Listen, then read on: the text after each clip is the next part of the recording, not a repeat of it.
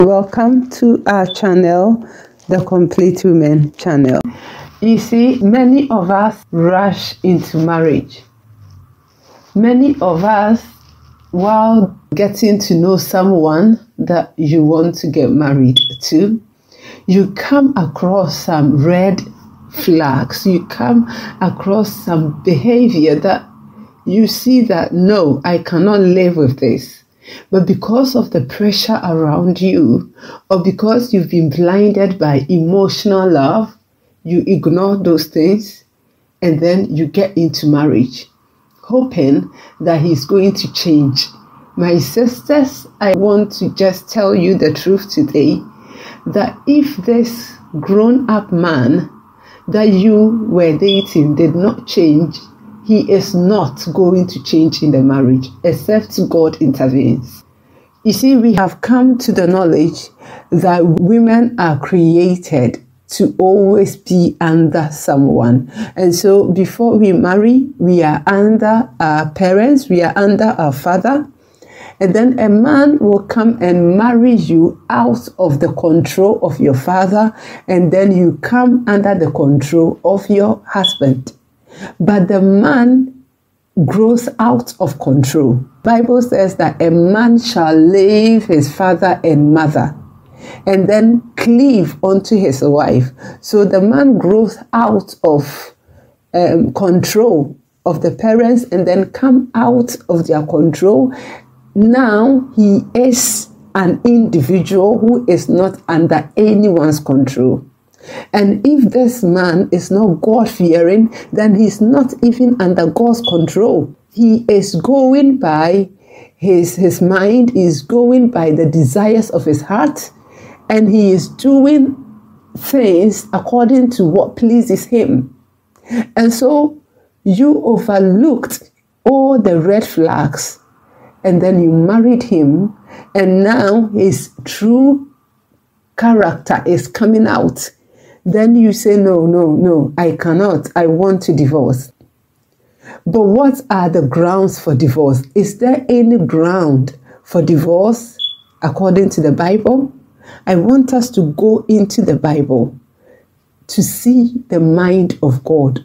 What is even marriage about? And I have a video that tells us about marriage and who is behind marriage. Marriage is not an earthly institution. It's not an institution for any individual. And so only the, the doctrine of God prevails in marriage. And so you cannot do it your own way. You cannot say that this is how my friend is doing it, and so I want to copy my friend. You have to go by the scriptures. One, because of your soul, you want to have eternal life, and two, you want to please God. And so, my sisters, I want us to go into the Bible to see the mind of God. If I married an unbeliever, you know, I saw his character. I saw that he was a womanizer. When we were dating, I saw that he was a womanizer. But I loved him so much and I didn't want to lose him. And so I overlooked that thing, um, his flaws, his his shortcoming and I married him. And now in the marriage, he hasn't changed. He is still chasing after women. He is committing adultery that many people are saying that the Bible says that for the sake of adultery, I can leave my husband. And so I am thinking of divorce. Am I right? If I divorce this man, um, am I righteous before God? Please let's go into the scriptures. First Corinthians chapter 7 from 10 to 13. And unto the married I command, yet not I, but the Lord. Let not the wife depart from her husband he says, Unto the married, this instruction is for us, the wives. I command, yet it's not me, it's not me, Apostle Paul commanding. It's the Lord, it's the Lord God Almighty. This, this commandment is from Jesus Christ. And what Jesus Christ is telling us, the wives, is that we should not depart from our husband. But and if she depart, let her remain unmarried or be reconciled to her husband. And the same commandment was given to the husband. Let not the wife depart from her husband. But if she departs, maybe now this unbelieving husband has become so abusive and you are scared. He, he can kill you. You are scared for your life. The Bible says that you can go. But if you go, remain unmarried because you are still married to him. You are still married to this man. You cannot leave him. So he is being abusive. You are scared for your life. Go your step go and live um, in a separate place but don't marry because you have a husband and he can change, God can touch him. So you separate from him while you are praying for him. That is the instruction from God. Then Apostle Paul says, But to the rest speak I, not the Lord. This one is just me speaking. And what I am speaking, I'm just giving you advice. I am just building on what God has said. What has God said? God has said that don't leave your husband. But if the situation becomes unbearable and you have you have left, then remain unmarried. Don't marry again because you still have a husband. And if you marry, it's going to be adultery. You you'll be committing adultery because you have a husband. And so Apostle Paul is not giving any other um, instruction which is contrary to what God has said. He is just building on it because one, he knows that one, I have made it clear that God says that don't leave your husband. That God says that if you leave, do not marry again whilst the man is still alive. Otherwise, you become an adulterer. So he has made that point very, very clear. And so now what he is saying is just building. He has laid a foundation. So now he's just building on the foundation to tell you, to give you an advice. What is his advice that he is giving to us? He says, But to the rest speak I, not the Lord. If any brother has a wife that believeth not, and she be pleased to dwell with him, let him not put her away. Now, this is for the women, and we are talking to the women. This is for us, the wives. And the woman which has a husband that believeth not, and if he be pleased to dwell with her, let her not leave him. Okay? And the woman which has a husband that believeth not, and if he be pleased to dwell with her, let her not leave him. So, like we said, you saw the red flags that this man was a womanizer, maybe a smoker, maybe he has some some um, very hot tempered person. One day he showed it to you when you were still not married but you were blinded by love. You didn't even see it. And then you married him. Now God has made it clear that you, wife, never leave your husband. No. Till death do you part. You can never leave this man, but you can separate. The Bible allows separation. Where the situation is so unbearable, you can separate. But like we have said already, when you separate, don't marry again. Otherwise, you become an adulterer, which is a sin that leads to hellfire. So Apostle Paul is saying that the man that you married, that showed his character to you once, once or twice, and you overlooked it, people were calling you and saying that uh, this man that you want to marry has a girlfriend this place and you you said they were just jealous. You overlooked these things. You saw it on the on, on facebook some of the things you were do he was doing. You saw these things and then you overlooked it and you have married him.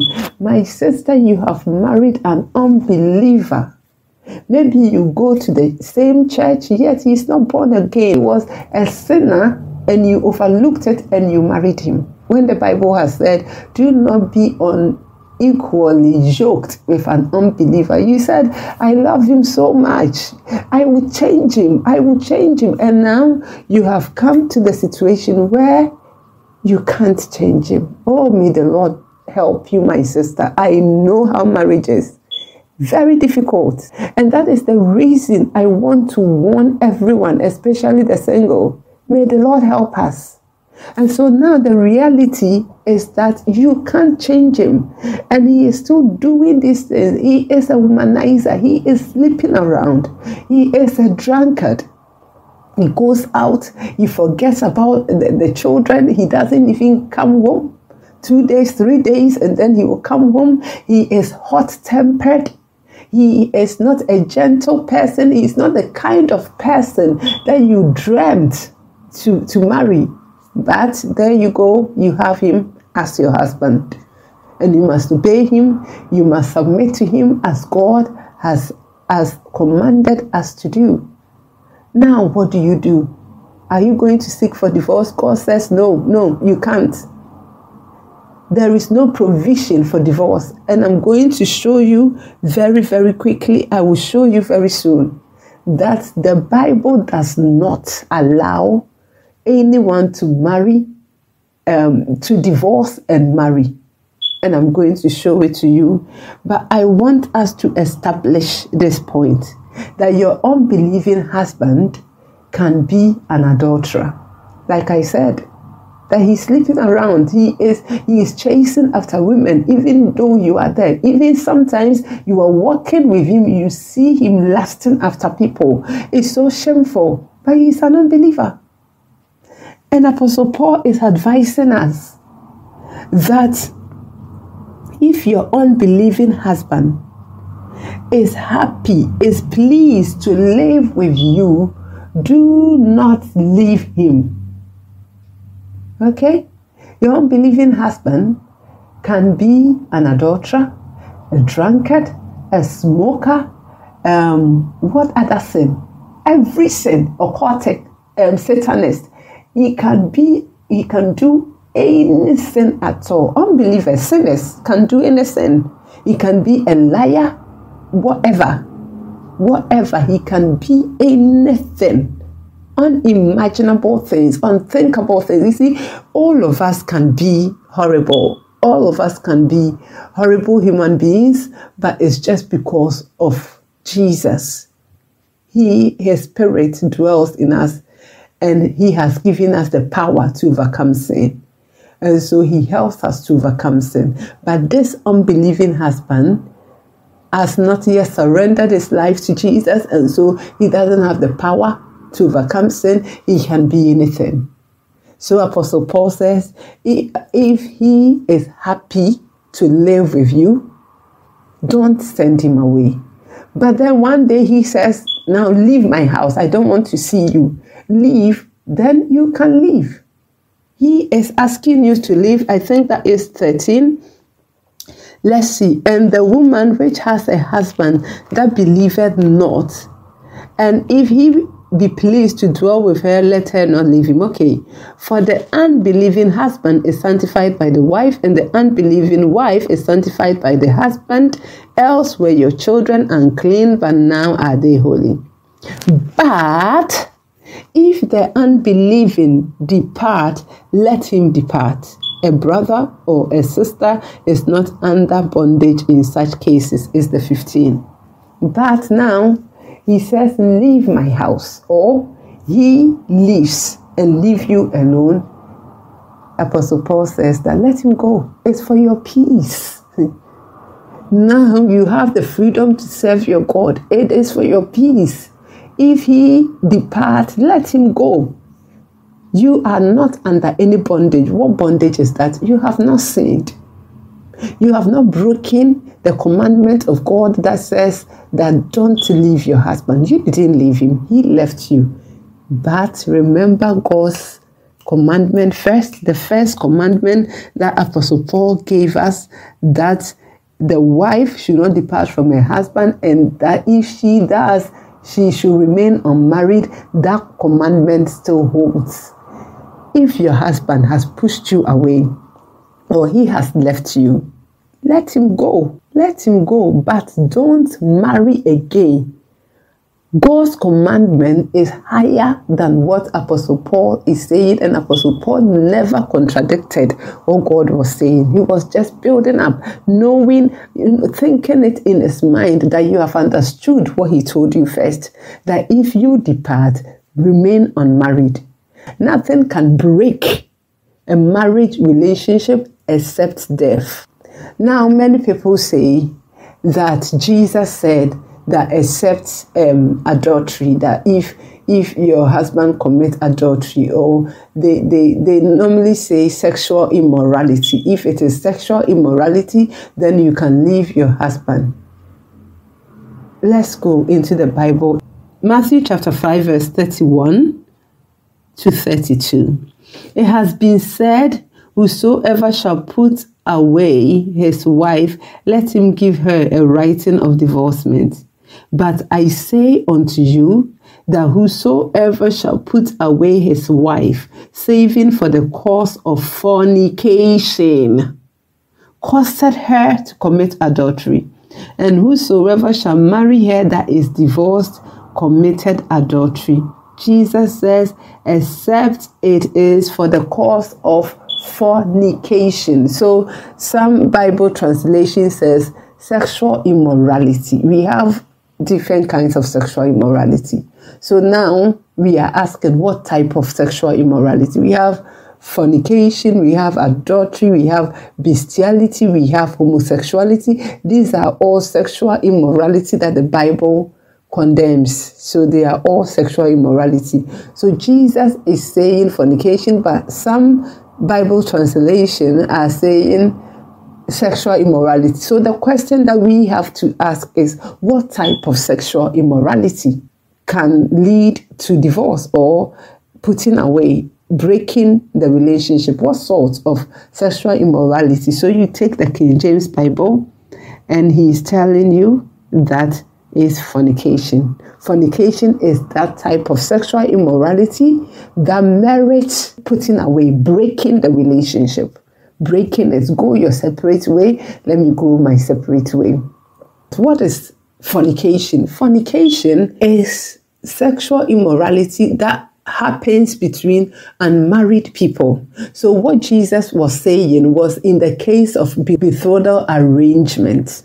Okay, so Jesus was talking about betrothal arrangement where it's, it's like um, engagement where um, everybody knows that this one, this man is going to marry this woman because they have declared it. We are going to marry, and people, the community, um, respect this kind of arrangement. They really respect it, and so like they saw the man that is going to marry you somewhere, and they come to you. They say, "Oh, I saw your husband, even though you are not." um, married yet, everybody knows and they have accepted that you are going to marry this person. So, oh, I saw your wife, I saw your husband. You know, when he's coming, they say, oh, that's your husband coming. That is the betrothal relationship, which is going to lead to marriage. An example that we've been given is in the Bible between Mary and Joseph. And so when Joseph saw that Mary was pregnant, he saw that uh, she has she has betrayed me. She has gone to sleep with another person. And if Mary did that, that wasn't adultery, that was fornication because they had not yet married. So that one is fornication. And Jesus says, if it happens like that, you can break that marriage. You can break the marriage. So it is only in that case. We call it now engagement. Is it engagement people call it? I don't know. I don't know if it's called um, courtship or engagement, the time that you, you are getting to know someone and then you find out you are not married yet. You haven't done the marital rites that your parents have released you to him to go and live with him as your husband, but you are just in the process, you see, getting to know him, and then you found out that he has committed fornication, he has gone to sleep with someone else, then you can break that relationship. And you are free to marry someone else because you have never married, you, you were not married to him. But that time when you saw that he was flirting with other women, when you saw that he had even committed this fornication, you overlooked it and you went ahead to marry him. Now you are married. It's a point of no return. Now, all that you can do is to ask for the grace of God. All that you can do now is to pray for God to help you. If you separate from this man, the Bible says, remain unmarried. Marriage is going to send so many people to hell, and may God help us. So now, maybe my sister, you are asking, I didn't know this. I didn't. I I didn't know that um, God was talking about fornication, not adultery. And I have left my husband because you committed adultery. What should I do? You have to go back to your husband. Otherwise, stay unmarried. If you have married again, you have to leave the one that you, you are married to right now because God sees it as adultery. Even if you went to court and court gave you a certificate, a divorce certificate, God has not given you a divorce certificate. God has not sanctioned that kind of divorce. And so, in the sight of God, you are still married to that man. And I pray you, everyone go and ask God if I'm telling you the truth. Please, everything that you hear on this channel, go and seek God. Ask Him the truth. Daughters of Christ, He is your Father. Like I always encourage people, go to God and pray about it. Tell Him, God, I didn't know this. Now I have separated, I have divorced my husband. I have court certificate. What should I do? Before God, that certificate is just a useless paper and it will not save you on the judgment day. May the Lord bless you all. May the Lord give you grace in the name of Jesus. In the name of Jesus. God bless you, my sisters. I love you all. In Jesus' name, Amen.